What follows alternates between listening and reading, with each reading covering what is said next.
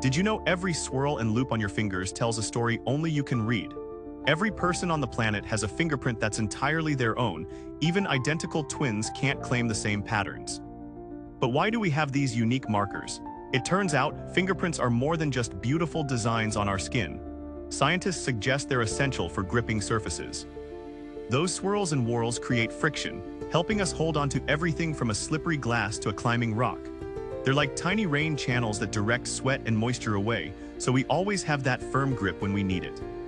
But there's more. Some researchers believe that our fingerprints heighten our sense of touch, acting like tiny amplifiers for the nerve endings beneath our skin.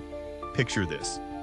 Over millions of years, our ancestors developed these intricate patterns as tools for survival, dexterity, and even identification.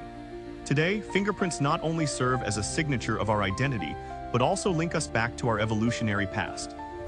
Each set is a masterpiece, ensuring that no two humans, past or present, share the same exact design. What do you find most fascinating about fingerprints? Let us know in the comments, and don't forget to follow for more amazing insights.